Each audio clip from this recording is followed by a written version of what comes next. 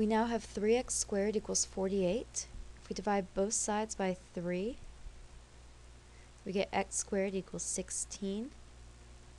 We then get x equals plus or minus the square root of 16, which means x equals positive or minus 4. It is important to realize that x is a positive or minus 4 because positive 4 squared equals 16 and negative 4 squared equals 16. So that's our solution for the second triangle, y equals 4 and x equals plus or minus 4. We do have a couple of corollaries to the theorem we learned. In fact, each theorem has one corollary. The corollary to the base angle theorem tells us that if I have a triangle such that not just two but all three sides are congruent. So if the triangle is equilateral, then it is equiangular. The corollary to the converse theorem is very similar. And what this tells me is that if I have a triangle that is equiangular, then the triangle is also equilateral. Basically, if a triangle is equiangular or equilateral, then it is a regular triangle.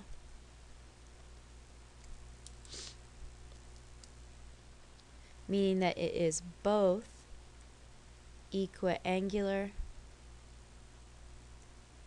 and equilateral.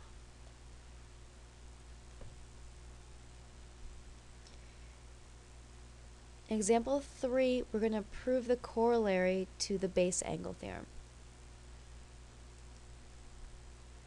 Which means we are proving that if we have an equilateral triangle, then it is equiangular.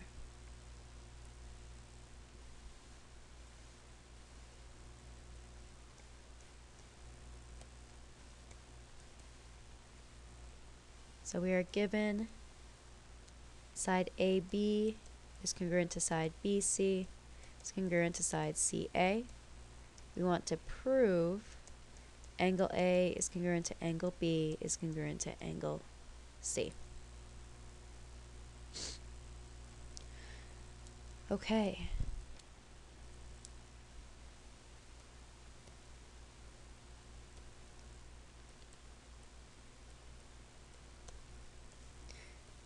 We know that angle or side AB is congruent to side BC, it's congruent to side AC. That's given to us. We then know that angle A is congruent to angle C. We also know that angle A is congruent to angle B. And the reason for both of those is the base angles theorem. Because we know if we have two congruent sides, then the opposite angles are congruent. And again, two congruent sides, then the opposite angles are congruent. We can then write that angle A is congruent to angle B is congruent to angle C.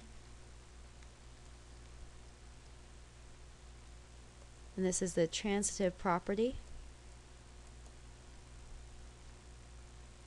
which tells us that triangle ABC is equiangular. And this is the definition of equiangular. And that's it. Okay. For homework, I want you to prove the corollary to the converse to the base angle theorem. So if you are given